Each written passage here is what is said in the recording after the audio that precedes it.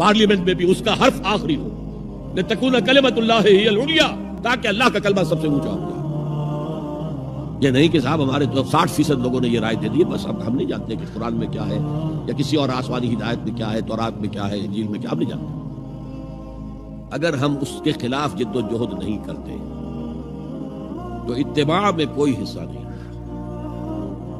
जो इतात थोड़ी बहुत हम कर रहे हैं, वो भी जुजवी है कुल्ली नहीं है। इसलिए दुनिया की रसवाई वो तो हमारे माथे पर लिखी हुई जुरबत आज हमारा आगे तो इत्तेबाए रसूल, मोहब्बत रसूल का तकाजा, वही जिद्दोजहद करो, वही जिद्दोजहद करो। इसी का नाम जिहाद फ़ी सबीलिल्लाह है।